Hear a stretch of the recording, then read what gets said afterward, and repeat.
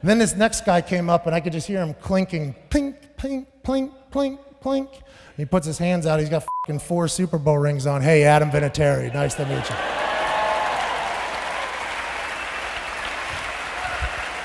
That's a complete lie. The guy never wears his rings. He's like the most humble dude ever. But when he said Adam Vinatieri, the first thing I thought was, you are old as shit.